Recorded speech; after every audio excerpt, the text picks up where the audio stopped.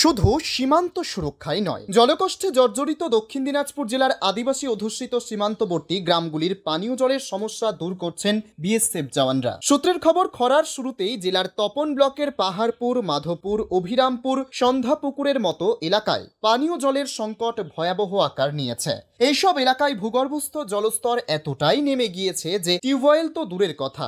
জল ওঠে না সাবমার্সিবলেও। ফলে গ্রামের বাসিন্দাদের সুবিধার্থে একশো চৌষট্টি নম্বর ডাকুহারা বিএসএফ ক্যাম্প থেকে পরিশ্রুত পানীয় জল দেওয়া হচ্ছে। প্রতিদিন নিয়ম করে একটি নির্দিষ্ট সময়ে গ্রামবাসীদের জল সরবরাহ করে থাকেন বিএসএফ জওয়ানরা। বিএসএফ এর এমন উদ্যোগকে সাধুবাদ জানিয়েছেন গ্রামবাসীরা। উল্লেখ্য, রাজ্য সরকার জলের সমস্যা মেটাতে পরিশ্রুত পানীয় জল সরবরাহে প্রায় তিনশো কোটি টাকার প্রকল্প নিয়েছে। কিন্তু গত প্রায় দশ বছরেও সেই কাজ শেষ হয়নি। ফলে মেটেনি সমস্যা। এখনও কয়েক কিমি দূরে হেঁটে গিয়ে বাংলাদেশের সীমান্তে থাকা বিএসএফ এর জওয়ানদের কাছ থেকে পানীয় জল নিতে হচ্ছে বাসিন্দাদের। প্রতিদিন পানীয় জল সরবরাহ করে গ্রামগুলিকে বাঁচিয়ে রাখছেন সীমান্তরক্ষী বাহিনীর জওয়ানরাই। স্থানীয় বাসিন্দা ভাতশীত বর্মন প্রতুল কর্মকার বানু টুডুদের কথায় বিএসএফ এর জওয়ানদের জন্য আমরা পানীয় জল পাচ্ছে। এ বিষয়ে স্থানীয় বাসিন্দা কি বলছেন শুনব।